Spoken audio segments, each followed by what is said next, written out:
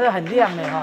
啊，金星真的那么亮吗？很亮。错过再等四十年的月眼金星，二十四日晚间七点五十二分出现。彰化县长王惠美前往彰化艺术高中，与师生及民众一同观看月球与金星交叠过程的奇妙景象。今天我们都来当追星族哦，那不是追明星，是追金星。那错过了要等四十年哦，所以今天蛮多我们的大朋友跟小朋友啊一起来啊观测，那看看金星，看看我们的月亮，他们的一个互动的一个状况哦。那也欢迎我们的乡亲有机会真的。多来了解一下我们的这个星球啊，真的看一看，真的会着迷。虽然感觉它是那么的遥远，但是看起来又是那么的清晰哦。那特别谢谢校长老师们平时。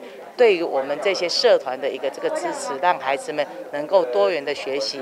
呃，这种天文的景象不太常见啊，对。然后想说刚好有这个机会，所以呢就带他们一起来看。那刚好这边也有这个天文望远镜，对，这个也是我们小朋友第一次有机会看用这个天文望远镜去看这样子的天文的景象，这样。所以想说这个机会很难得，就带大家一起来这样子。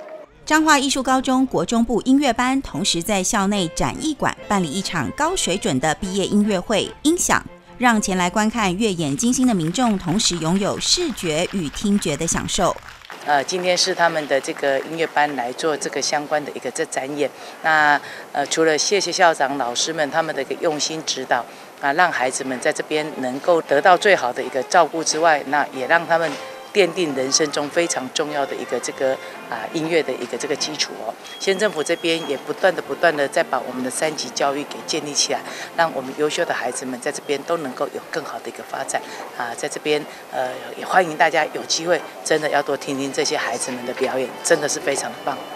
每个孩子都有他们的特色，有人可能是在学科导向，有人可能在术科导向。